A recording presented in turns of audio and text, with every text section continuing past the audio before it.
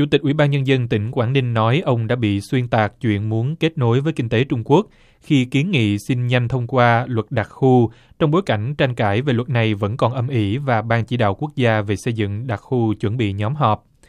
Trang Facebook của Việt Tân, Dân làm báo Việt Nam và một số tài khoản Facebook cá nhân hôm 4 tháng 7 đã đăng tải những hình ảnh cùng nội dung cáo buộc ông Nguyễn Đức Long thúc giục cho luật đặc khu kinh tế, vốn bị phản đối dữ dội và đã bị hoãn lại, sớm được thông qua tại buổi họp thường kỳ của chính phủ hôm 2 tháng 7.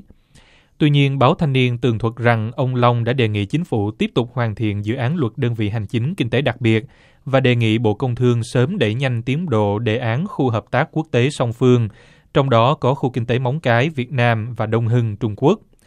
Tỉnh Quảng Ninh sau đó đã yêu cầu Bộ Công an điều tra xử lý các đơn vị cá nhân sử dụng Facebook để bôi nhọ ông Long. Cáo buộc của Chủ tịch tỉnh Quảng Ninh được đưa ra ít ngày sau khi Văn phòng Chính phủ Việt Nam có văn bản gửi các thành viên Ban chỉ đạo quốc gia về xây dựng đơn vị hành chính kinh tế đặc khu, Bộ Kế hoạch Đầu tư và Bộ Nội vụ về việc chuẩn bị nội dung họp lần thứ hai của ban này, theo VN Express. Hiện chưa có thông tin cụ thể về ngày giờ tiến hành cuộc họp.